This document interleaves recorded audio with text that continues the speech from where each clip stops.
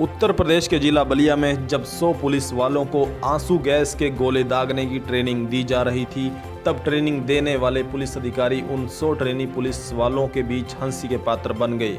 वो इसलिए कि जब अधिकारी गोले दागने लगे तो गोले फुस हो गए। आप वीडियो में देख सकते हैं।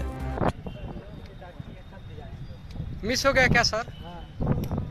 पुराना है? क्या है? एक्सपायर है?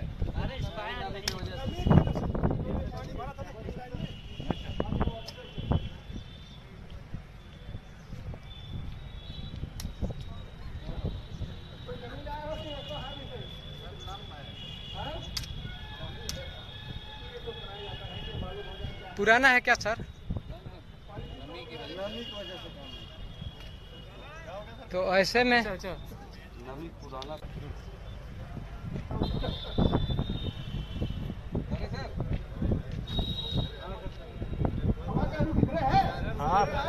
हमारा यार। नहीं हुई। बीस साल हो ताज़ा अपडेट्स के लिए अर्थ प्रकाश टीवी को सब्सक्राइब करें और बेल आइकन को प्रेस करें।